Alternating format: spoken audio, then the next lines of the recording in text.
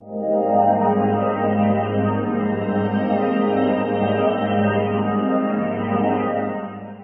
chào quý vị các bạn.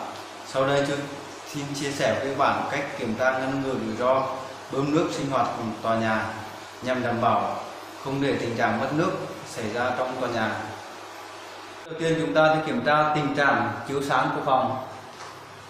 Chúng đảm bảo tình trạng chiếu sáng tốt, tình trạng vệ sinh.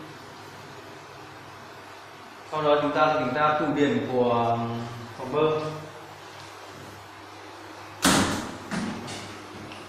Hình trạng để, à, hiện tại của đèn báo các pha. Các chế độ của um, tủ bơm.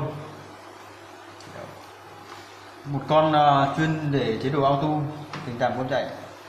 Các chế độ mức phao báo của um, của bể đây tình trạng báo là mức phao là báo là cao nhất bể nước đang đầy.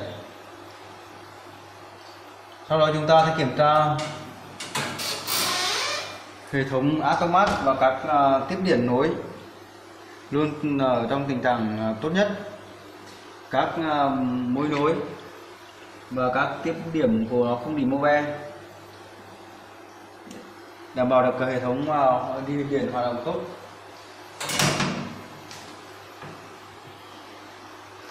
Sau đó chúng ta sẽ kiểm tra tình trạng các đường ống.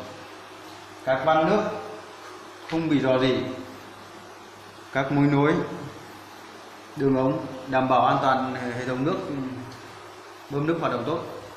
Sau đó chúng ta sẽ kiểm tra đồng thổ đo áp suất, đảm bảo không bị mất áp.